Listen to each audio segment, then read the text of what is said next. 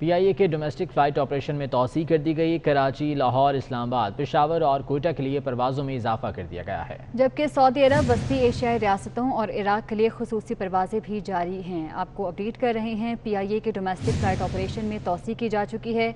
कराची लाहौर इस्लामाबाद पेशावर और कोयटा के लिए परवाज़ों में इजाफा कर दिया गया है। इसी बारे में तफसीत जान लेते हैं। समर अब्बास हमारे साथ मौजूद हैं। समर बताएगा इस बारे में क्या फैसला किया गया है?